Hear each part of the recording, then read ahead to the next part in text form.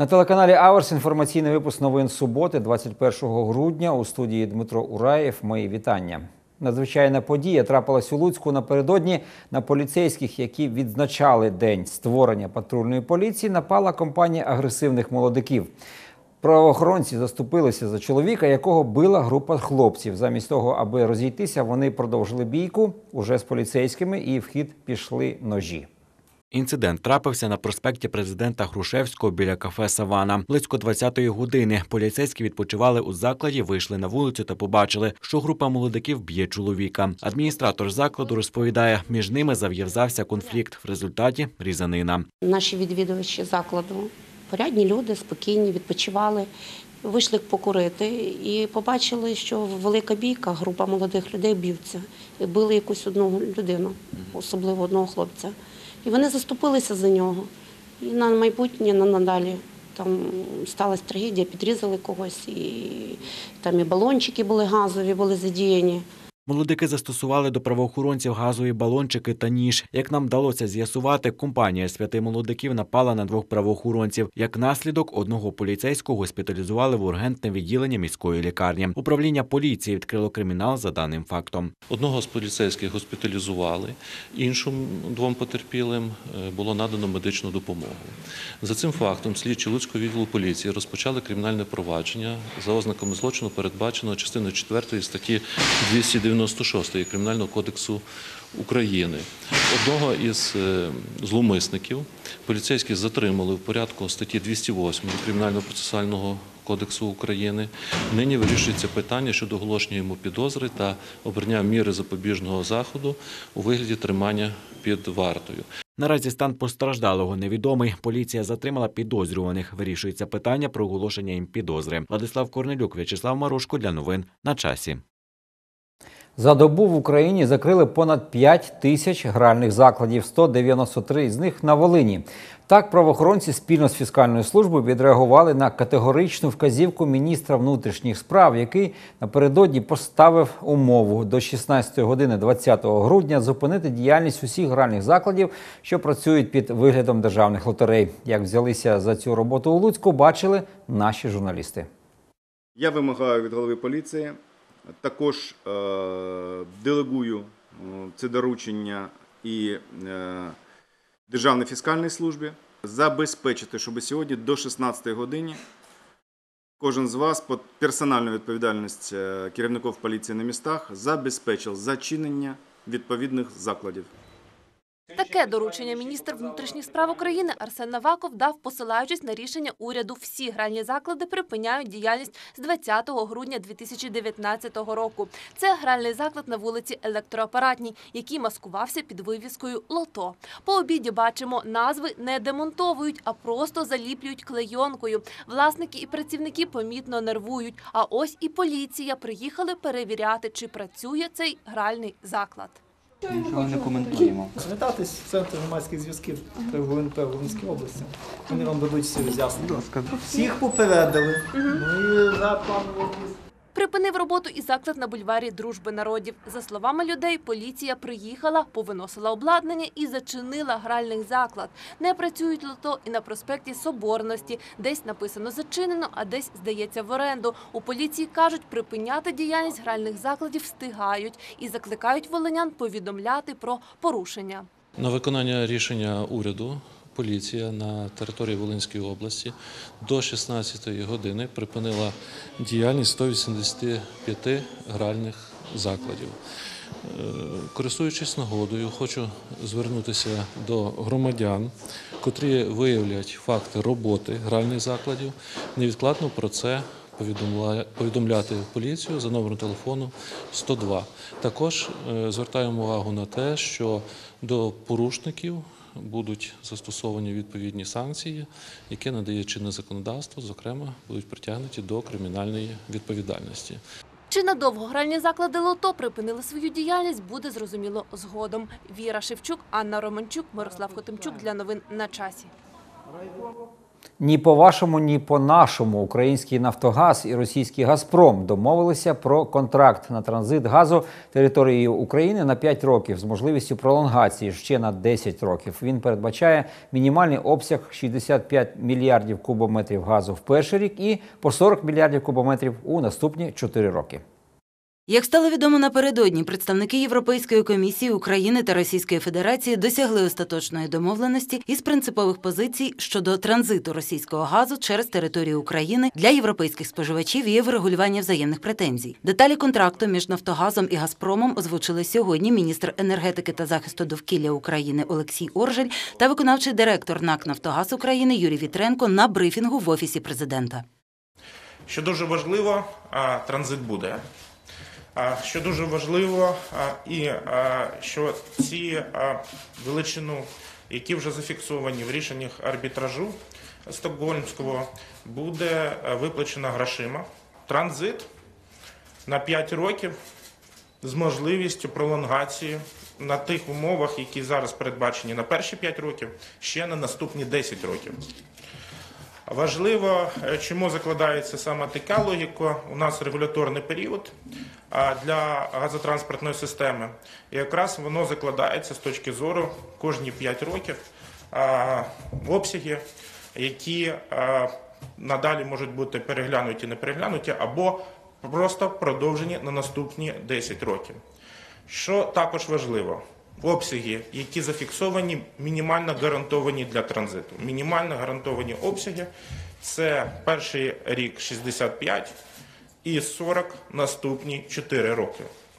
Таким чином, сторони підписанти контракту зійшлися на транзитних поставках протягом найближчих п'яти років, погодившись на обопільний компроміс. Україна пропонувала підписати контракт на 10 років. У Росії хотіли обмежитися лише одним. Однак північний сусід змушений був поступитися. Санкції США, рекордні запаси газу в Україні і Європі, а ще відставання графіків введення в дію обхідних газопроводів спонукали Росію до лояльності. Відтак, окрім гарантованих мінімальних обсягів транзиту, Газпром погодився виплатити Нафтогазу до нового року майже 3 мільярди доларів згідно із рішенням Стокгольмського арбітражу. Вікторія Олещенко для новин на часі. Дух Різдва збирає до гурту малих і дорослих, щоб разом зустріти подію появи на світ Сина Божого, підтримати словом і подарунком. Атмосфера добра і милосердя панувала на передріздвяному святкуванні, що відбулось у Луцьку в церкві Фіміам. У євангельських церквах Фіміам батьки разом із дітьми кожного року напередодні Різдва співають пісні, спілкуються, грають у різноманітні ігри. Цього разу зала заповнена в усіх святковий настрій. Святкується Різдво Господа нашого Ісуса Христа. Ми запросили сім'ї наші, які постійно і які нові приєдналися на наше свято, щоб відсвяткувати і розказати людям про народження Ісуса Христа. Організатори розповідають, що основний меседж святкування нагадати про велику подію в житті кожної людини народження Христа. А щоб запам'яталася вона навіть найменшому, усе дійство відбувалося в ігровій формі. Хочемо поздоровити людей з Різдвом наступаючим. То люблю родини, які мають діток особливих, бо сама мала таку дитину, і онучка в мене особлива. То я розумію цих діток і дуже поважаю, шаную батьків. Хочу просто допомогти, щоб мамочка посиділа трошки, пораділа. Ми грали, хто я. Ну, і, ну, і, і робили сніговичка. А ще що? Більше нічого. Більше нічого. Розкажи про свої мрії. Бачимо, що ти тут щось написав, а що саме? Ну, я мрію мати собаку, ну й успіхів в навчанні. На святі дітям запропонували написати листи про те, що мріють і чого хочуть досягнути у новому році. В листах так ми пишемо мрії е, і якісь бажання, що ми хочемо, щоб здійснилось в наступному році. Е, протягом року молимось, і через рік ми будемо їх відкривати і аналізувати те, що ми написали, і чи сталося те, що ми хотіли, чи ні. Люди не знають взагалі, що сталося в цей день. Ми хочемо донести істину, що Христос народився і Він спас наші гріхи і так далі. До заходів церкви Фіміам уже багато років поспіль долучаються благодійники. Ось і цього разу вони були серед гостей різдвяного свята. Фонд долучається, долучається до таких е, новорічних, е, новорічних святкових ранків і залюбки дітки отримують, отримують солодкі подарунки. Владислав Корнелюк, В'ячеслав Марушко для новин на часі.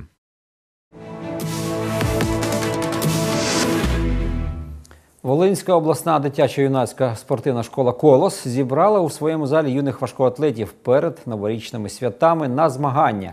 До Луцька з'їхалися більше 80 спортсменів та спортсменок з різних куточків Волині. Стежили за богатирськими іграми і наші журналісти. Наприкінці року в обласному центрі Волині влаштували підсумковий турнір з важкої атлетики. Взяти участь у змаганнях приїхало майже 100 юних спортсменів з різних куточків області. Серед них і 12-річна Марія з міста Камінь-Каширський. Почала займатися важкою атлетикою дівчина трошки більше року тому. Пригадує, хоч і спочатку для неї це було звичайним хобі, вже зараз вона впевнена, хоче усе життя присвятити цьому виду спорту.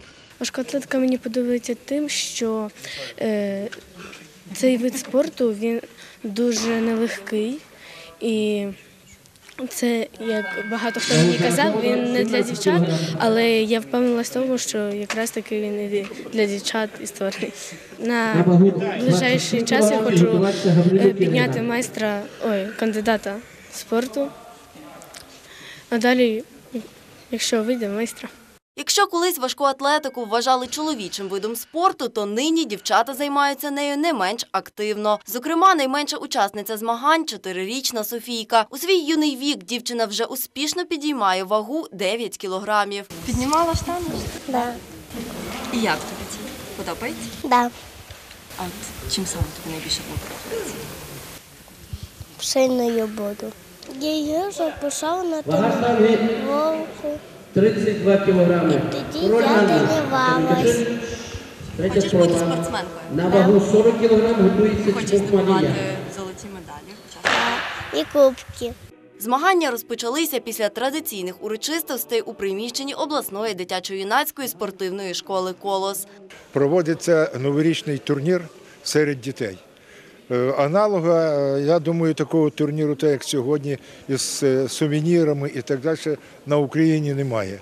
Тому для того, щоб дітям все-таки якось і Миколайчик щось їм приніс, і разом з тим і Федерація і обласна, і міська важкої атлетики, ми стараємося все робити, щоб більше дітей от, залучити до важкої атлетики заняттями регулярними. Через те, що здоров'я це майбутнє кожної дитини і майбутнє нашої держави. Я хочу від імені фонду та від свого щирого серця подякувати діткам, які мають терпіння, які мають сили та віру в себе і достойно показують Волинь в Україні та в світі. Е, Завдяки таким діткам хочеться тут жити, виховувати тут дітей та внуків. І велика подяка тренерам за те, що теж мають терпіння навчати та робити з них справжніх захисників. Відвідав змагання і народний депутат України В'ячеслав Рубльов, який до слова ще й віце-президент Федерації важкої атлетики міста Луцька. На думку нардепа, спортивне виховання дітей є дуже важливим, тож привів на змагання і своїх синів. важкоатлетичний турнір, який дасть можливість відповідно дітям показати те, що вони тренували, свої рекорди, можливо, і покращити їх для того, щоб вони були зараховані на змагання вже загальноукраїнського масштабу. І дай Бог, щоб потім це допомогло зарахуванню на міжнародні змагання, де вони зможуть покращувати свої вміння, показувати результати. Тому і привів сьогодні своїх двох синів, щоб вони подивилися, можливо, хтось зацікавиться е, таким видом спорту.